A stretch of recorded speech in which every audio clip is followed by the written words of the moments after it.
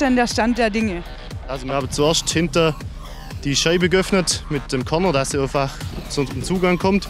Dann ist einer von uns ins Fahrzeug gestiegen, um die Personen zu betreuen. Haben dann im nächsten Schritt die Türe aufgemacht, dass einfach der Notarzt Zugang hat und die Patienten dementsprechend begutachten können, was sie haben, wo sie eingeklemmt sind und wie es denen soweit geht. Und jetzt ist dann die nächste Maßnahme, dass wir das Dach runternehmen, um die Personen dann aus dem Fahrzeug zu holen.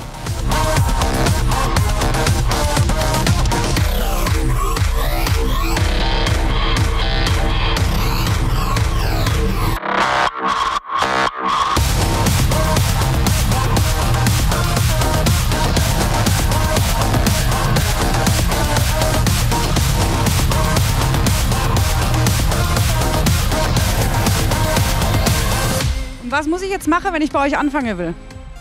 Ist eigentlich kein Problem. Vorbeikommen und sieht dann auch, ob die Interesse da ist. Und wenn die Interesse da ist, dann ist es ein Alleingänger.